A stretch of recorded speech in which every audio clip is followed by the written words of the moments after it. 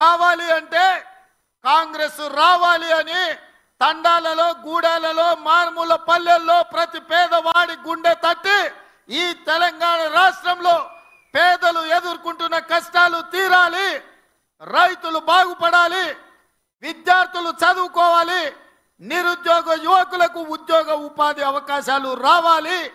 ఈ తెలంగాణ రాష్ట్రంలో ప్రజాస్వామ్యం మనుగడ సాగించాలి అని చెప్పి ఆనాడు ఒక పక్కన బట్టి విక్రమార్క గారు ఇంకొక పక్కన నేను పాదయాత్ర చేపట్టి ప్రతి పేదవాడి దగ్గరికి వెళ్ళడం జరిగింది. సీతక్క సమ్మక్క సార్లక్క నుంచి సీతక్క నేతృత్వంలో నేను పాదయాత్ర మొదలు పెడితే బట్టి విక్రమార్క గారు ఆదిలాబాద్లో నుంచి పాదయాత్ర మొదలు పెట్టడం జరిగింది. ప్రజల దగ్గరికి వెళ్ళినాం పార్టీ విధానాలు వివరించినాం. కాంగ్రెస్ అధికారంలోకి వస్తేనే పేదల బతుకులు బాగుపడతాయని ప్రజలకు చెప్పినాం.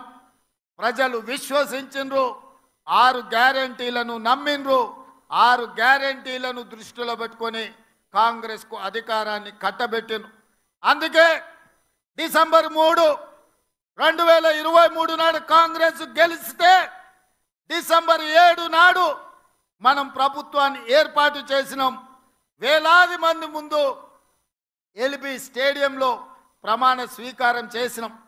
నలభై ఎనిమిది గంటలు కూడా ఆగకుండా శాసనసభ సమావేశాలను ఏర్పాటు చేసి మొదటి రెండు గ్యారంటీలను డిసెంబర్ తొమ్మిది రెండు వేల ఇరవై మూడు నాడే ఆడబిడ్డలకు ఆర్టీసీలో ఉచిత బస్సు ప్రయాణాన్ని అందిస్తామని ఇవాళకి ఎనభై ఐదు కోట్ల మంది ఆడబిడ్డలు ఈరోజు పొన్నం ప్రభాకర్ గారి నేతృత్వంలో ఉన్న రవాణా శాఖలో ఈరోజు ఉచితంగా బస్సులలో ప్రయాణం చేస్తున్నారు ఇదే కాదు పేదవాడికి వైద్యం అందించాలి. సర్కారు దవాఖానకు పోతే మళ్ళీ వస్తాడో రాడో అనే అనుమానం ఉన్న రోజుల్లో UPA one Shri YS Rajasekhara Reddy గారి నేతృత్వంలో రాజీవ్ ఆరోగ్యశ్రీ రెండు లక్షల రూపాయలు ఉచిత వైద్యాన్ని పేదోళ్ళకు అందించాలని ఆనాడు రాజీవ్ ఆరోగ్యశ్రీ పథకాన్ని మొదలు పెడితే చంద్రశేఖరరావు వచ్చిన తర్వాత కాంగ్రెస్ పార్టీకి పేరు వస్తుంది. రాజీవ్ గాంధీ పేరును పేదలు తలుచుకుంటారని కుట్రతోని రాజీవ్ ఆరోగ్యశ్రీని నీరు గార్చడం జరిగింది. కానీ కాంగ్రెస్ పార్టీ అధికారంలోకి వచ్చిన నలభై ఎనిమిది గంటల లోపలే రాజీవ్ ఆరోగ్యశ్రీని పది లక్షల రూపాయలకు పెంచి ప్రతి పేదవాడిని ఆదుకుంటాం. చేసేదో అపల్లెలు శ్రీమంతులే కాదు పేదవాడు కూడా మహారాజులాగా వెళ్ళి వైద్యం చేయించుకొని ఇంటికి వెళ్ళే విధంగా పది లక్షల రూపాయల రాజీవ్ ఆరోగ్యశ్రీని నలభై ఎనిమిది గంటల్లోనే అమలు చేసి కాంగ్రెస్ పార్టీ పేదల ప్రభుత్వం అని నిరూపించినాం. ఇదే కాదు వ్యవసాయానికి ఉచిత కరెంట్ ఇచ్చింది కాంగ్రెస్. ఆనాడు అదే ఎల్పి స్టేడియంలో వైఎస్ రాజశేఖర రెడ్డి గారు ఉచిత కరెంటు కోసం సంతకం పెట్టిండు. ఆ స్ఫూర్తితో వ్యవసాయంకే కాదు పేదవాళ్ళ ఇళ్ళలో కాంతులు వెలగాలి వాళ్ళ కళ్ళల్లో ఆనందం ఉండాలి అని ప్రతి పేదవాడి ఇంటికి ఉచిత కరెంటునిచ్చి రెండు వందల యూనిట్లు ఈనాడు లక్షలాది కుటుంబాలకు వాళ్ళ ఇళ్ళలో ఉచితంగా కరెంట్ ఇచ్చినాం ఇదే కాదు మా ఆడబిడ్డలు కట్టెల పొయ్యితోని కష్టపడుతుంటే కన్నీళ్ళతో కట్టెల పొయ్యి పొగ ఊపిరితిత్తులకు పోయి క్యాన్సర్ వచ్చి చచ్చిపోతుంటే సోనియమ్మ ఆడబిడ్డల్ని ఆదుకోవడానికి ఆనాడు దీపం పథకం ద్వారా సిలిండర్ గ్యాస్ పొయ్యి పేదలకు అందించింది. నాలుగు వందల రూపాయలకి ఆనాడు సిలిండర్ ఇచ్చింది. కానీ నరేంద్ర మోడీ చంద్రశేఖరరావు అధికారంలోకి వచ్చిన తర్వాత నాలుగు వందల సిలిండర్ పన్నెండు వందల రూపాయలు అయ్యింది. పాదయాత్రలో నా దృష్టికి ఆడబిడ్డలు అక్క చెల్లెళ్ళు సిలిండర్ ధర పెరిగిపోయింది. ఈ బండ మొయ్యలేకపోతున్నాం.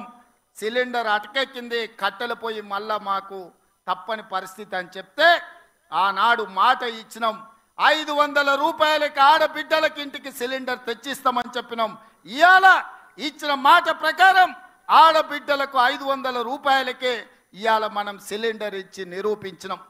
ఇదే కాదు మిత్రులారా రైతులకు ఇచ్చిన మాట ప్రకారం పార్లమెంట్ ఎన్నికలలో సన్నాసి తాటి చెట్టు లెక్క పెరిగిండు కానీ దూలం లెక్క పెరిగిండు కానీ దూడకున్న బుద్ధి కూడా లేదని నేను ఆయన చెప్పినా నువ్వు రైతు రుణమాఫీ చెయ్యి నేను రాజీనామా చేస్తా అని సవాలు విసిరిండు. ఆయనలోనే నేను యాదగిరిగుట్ట లక్ష్మీ నరసింహ సాక్షిగా చెప్పిన పంద్ర ఆగస్టు లోపల రెండు లక్షల రూపాయల రుణమాఫీ చేసి తీరుతాని మాట ఇచ్చిన పార్లమెంటులో నలభై రెండు శాతం ఓట్లు ఎనిమిది పార్లమెంట్లు మీరు గెలిపించారు.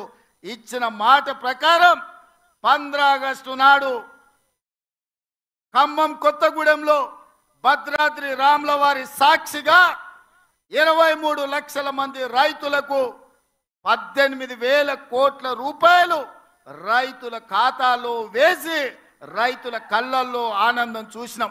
మరి ఇవాళ మా కాంగ్రెస్ పార్టీ కార్యకర్తల సాక్షిగా ఆ సన్నాసిని నేను అడుగుతున్నా రాజీనామా చేస్తా అన్నావు కదా సిద్దిపేటకు పట్టిన చీడ పీడ విరుగడవుతుందని ఆ సవాళ్ళు మేము స్వీకరించినాం.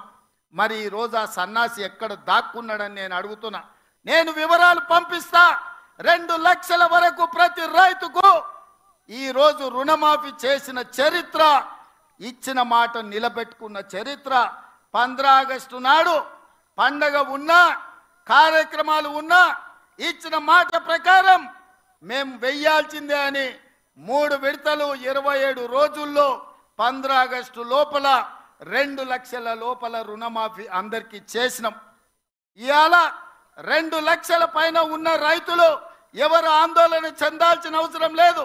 రెండు లక్షల పైన రుణమా ఉన్నవాళ్ళు రెండు లక్షల పైన ఉన్న రుణాన్ని మీరు బ్యాంకులో చెల్లించండి. మీరు చెల్లించిన మరుక్షణం ఆ రెండు లక్షల రూపాయలను కూడా మీ ఖాతాలో వేసే బాధ్యత మా ప్రభుత్వం తీసుకుంటుందని చెప్పి నేను ఆ రైతాంగానికి తెలియజేస్తున్నా. ఇదే కాదు పెద్దలు ఉత్తమ్ కుమార్ రెడ్డి గారి నేతృత్వంలో ఉన్న సివిల్ సప్లైస్ కార్పొరేషన్ ద్వారా రైతులకు ఐదు వందల రూపాయలు వడ్లకు బోనస్ ఇస్తామని చెప్పినాం. రాబోయే పంటలో రైతులు పండించే సన్న వడ్లకు ఐదు